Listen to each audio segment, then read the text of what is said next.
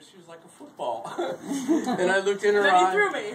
No, I didn't. I looked, in, I looked in your eyes and I said, now what are you going to be? And you know what you've turned out to be is a little Rebecca. And that's all you have to be. And I'm so proud of you for what you've done and how you persevered through all kinds of things in your life. And here you are, a college graduate. So we are just here to celebrate you, and I'm really proud of you. So let's all toast to Rebecca. Congratulations to you. Huh? Yay.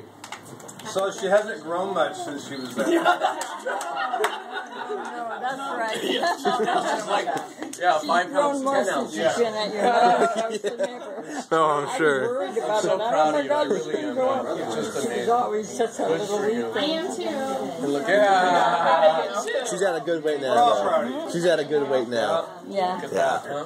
Yeah. She was a little too skinny for me Yeah, you before. can. Yeah. Go ahead. her Have a never seat. ate. Isn't it beautiful? Yeah. Her mother never You can? cooked. What do you mean? My mom cooks a lot. You're, you're, uh, I think you're, you're a grad Look at me.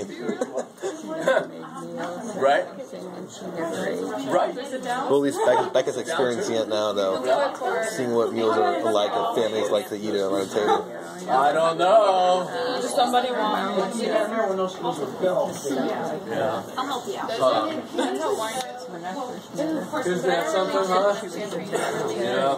At least I thought, oh my gosh, okay, I'm smarter than anybody is.